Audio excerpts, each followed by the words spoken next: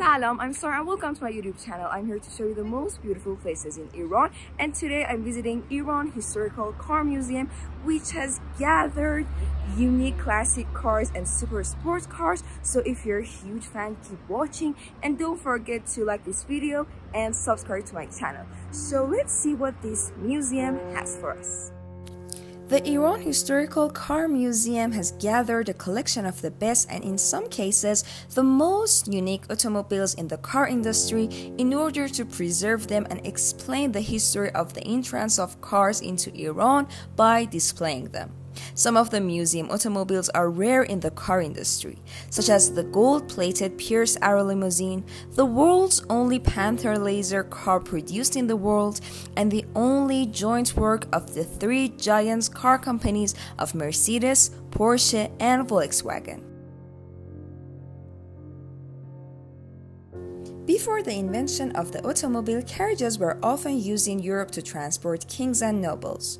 Royal carriages, which were a unique, luxurious, and ceremonial version of carriages, were used in kings' coronation ceremonies and weddings.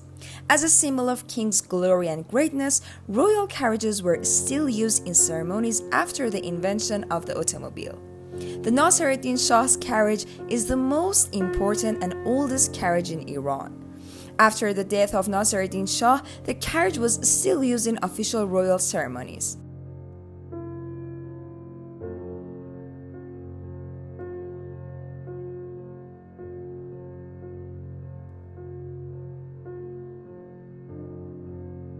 The Jaguar Mark 9 is a luxury four-door sedan manufactured by Jaguar Cars in the UK from late 1958 to 1961. Inside the cabin of this car, like most English cars of that time, a combination of high-quality wood and leather was used. There were eight small and large lamps in the front of the car, which added to the beauty of it, and at the same time, it made driving easier at night. The Panther Lazer was a roadster sports car, only one of which was produced by the British company Panther Westwinds in 1974. The Panther Lazer has a special and unusual design.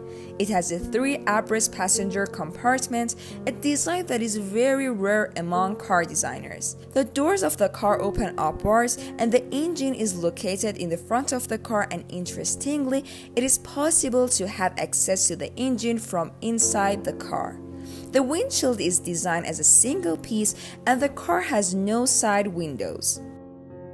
The Jensen Interceptor was a GT class car manufactured between 1966 and 1976 by Jensen Motors in England. The sedan version of this model, which was the main and best selling style of the car, was actually a two door hatchback. Its distinguishing feature was a large curved window that also served as a tailgate. The Pierce Arrow Model A was a seven seater limousine and the largest and most powerful Pierce Arrow car among the company's models produced in the 1930s. Due to the very large size of its engine, the car had a very long hood. The Pierce Arrow Model A displayed in the museum was ordered in 1930 by Colonel Reza Qoli Amir Khosravi, the head of the Pahlavi Bank and the exclusive importer of Pierce Arrow cars during the first Pahlavi era. The price of this car, which was financed by the Pahlavi Bank's treasury, was $30,000.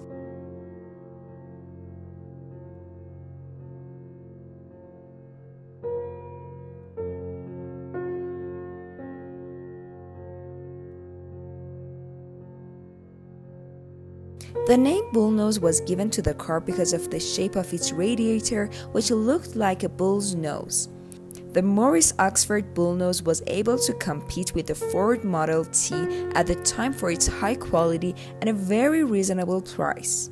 The British people just wanted a cheap means of transportation, and Morris made it possible for them.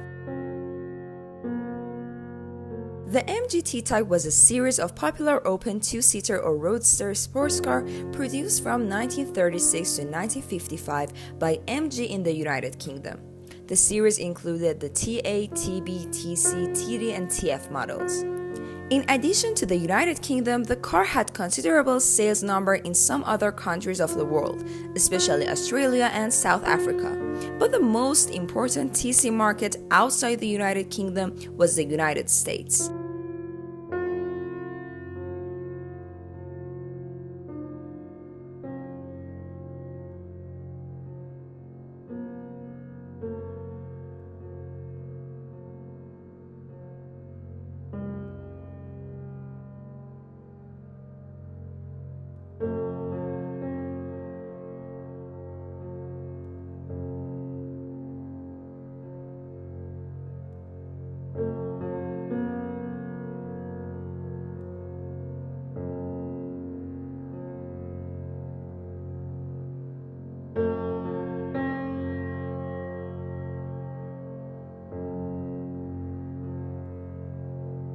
The 190 SL was a luxury two-door roadster manufactured by Mercedes-Benz from 1955 to 1963. The car was comfortable and enjoyable to drive long distances thanks to its independent suspension.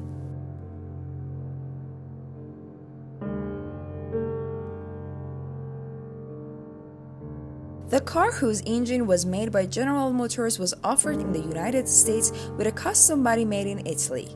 The car had a 3-speed automatic transmission and at the time of production possessed the most complete set of facilities such as automatic air conditioning, automatic headlamp controls with twilight sensor, an electric sunroof, central locking, cruise control, a burglar alarm, advanced audio system, and 24 karat gold-plated trim inside the cabin. Each car had a unique license plate with the owner's name written on it.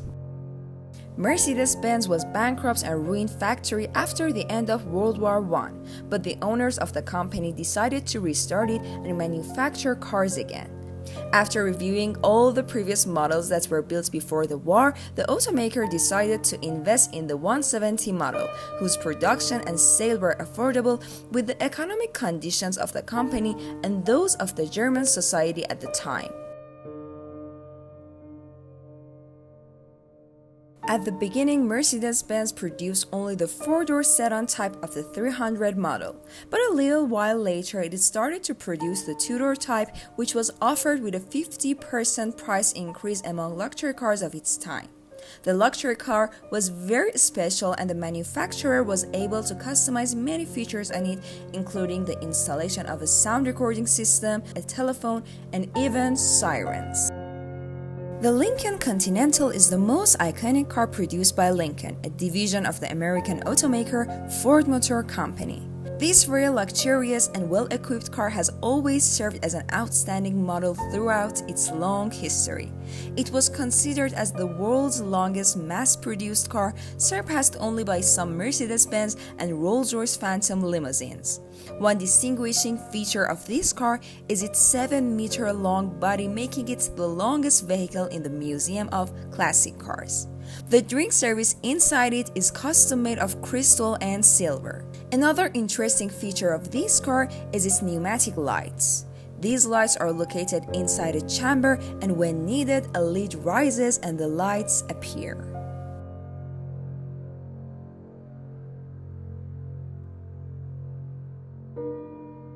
This car was one of the fastest cars of its time in the United States, winning many National Association for Stock Car Auto Racing races.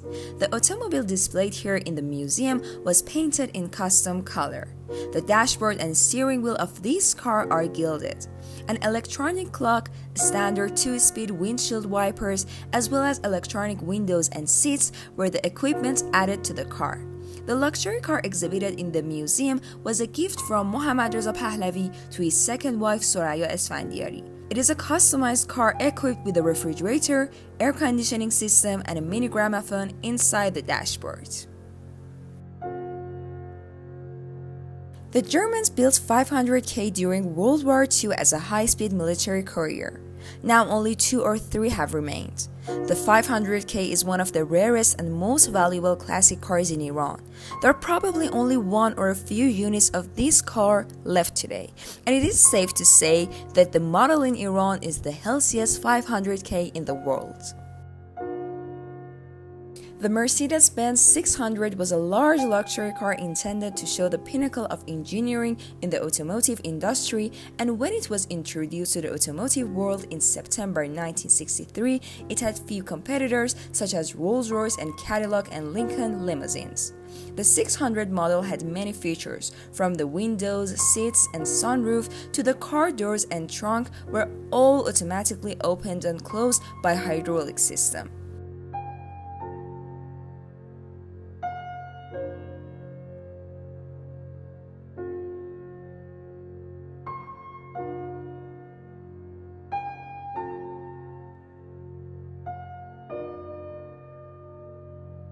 Undoubtedly, among all the car models produced by Porsche, the Porsche 911 has a special place.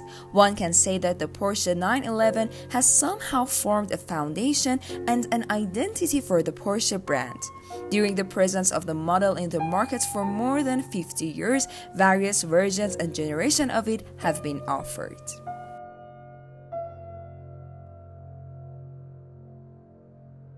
The fastest sports car in Germany at the time of its introduction, the Porsche 934 was actually one of the first sports car in which Porsche installed a turbocharged engine. The standard color of this car was metallic color that could be replaced with any other color when ordering. The size of the tires were standard, but other sizes could be also ordered. The purpose of designing this model was to produce a high performance ultra light car and in a way upgrade the world's automotive industry. This car was known as one of the most expensive cars in the world at that time of its production, and many famous people such as top politicians and movie stars bought it. The Ferrari 500 Superfast was a racing car made by Ferrari between 1964 and 1966. It was Ferrari's ideal warrior in car racing fields. Due to its low production, which was only two vehicles per month, the customers who wanted to buy this unique automobile were special people who could afford to pay a very high price for it, which at that time was equal to the price of two Rolls Royce cars. The body of this model of Ferrari was completely handmade and created by forming metal sheets on a wooden mold. The name Ghibli dates back to a time when Maserati was in the possession of Arab investors. Due to its high speed, the car was compared to the hot, dry southwesterly wind of the Libyan desert called Ghibli in Libyan Arabic. Its speed made it the Maserati's fastest road car at the time. Also, the headlights were hidden and came out of their compartments when turned on. This car was built by the order of Willy Brandt, the then Chancellor of West Germany. Three famous automakers, Mercedes Benz, Porsche, and Volkswagen, cooperated to build the automobile in 1972. The logos of the three car companies appear on the steering wheel as well as the body to show the company's cooperation in making this unique car. MPV Tehran is a custom car of which only one unit has ever been made, which was a gift for the Crown Prince Reza Pahlavi, the son of Mohammad Reza Pahlavi, the last Shah of Iran. The first Lamborghini Miura was introduced to the world in the spring of 1966, and it was clear from the outset that the final product would be a special car. Many consider it as the world's first real super sport car, as Lamborghini had designed the Miura with the purpose of building the world's fastest street car. Soon after being unveiled, the car became popular with music stars, professional drivers, and wealthy young people.